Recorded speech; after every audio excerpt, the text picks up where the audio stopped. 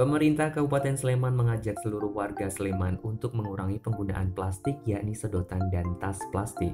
Ajakan tersebut disampaikan oleh Wakil Bupati Sleman Sri Muslimatun pada peringatan Hari Peduli Sampah Nasional 2019 yang bertempat di Dusun Krikil, Tegal Tirto, Kecamatan Berbah, Kabupaten Sleman, Jumat 8 Maret 2019. Acara diawali penanaman pohon oleh Wakil Bupati Sleman di pinggiran Kali Kuning Berbah.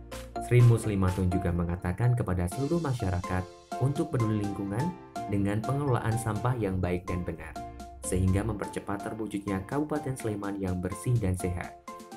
Pengelolaan sampah yang ia maksud berdasarkan Undang-Undang Nomor 18 Tahun 2008 tentang pengelolaan sampah, yakni dengan 3R, reuse atau menggunakan kembali, reduce atau mengurangi produk sampah, dan recycle atau mendaur ulang sampah.